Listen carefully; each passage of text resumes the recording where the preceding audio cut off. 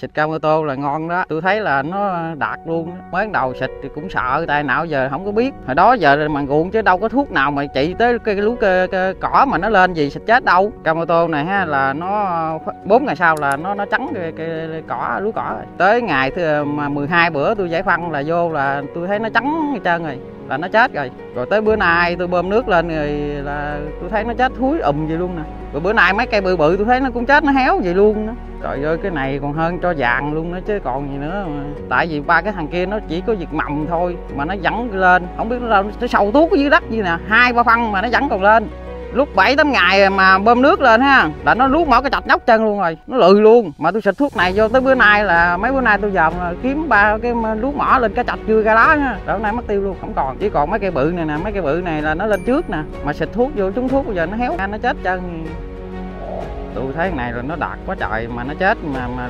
luôn cây bự nữa là tôi thấy ok lắm rồi đó. Ngon lành. Cái lúa cỏ chết gì còn hơn ok đó, mà còn hơn ông đem khai quang vô ông xịt cái thằng lúa cỏ đó, nó cao gì mà nó còn chết mà mà cái lúa mình vẫn khỏe mạnh bình thường chứ được rồi. Rồi xịt cái tô này tôi mừng rồi đó.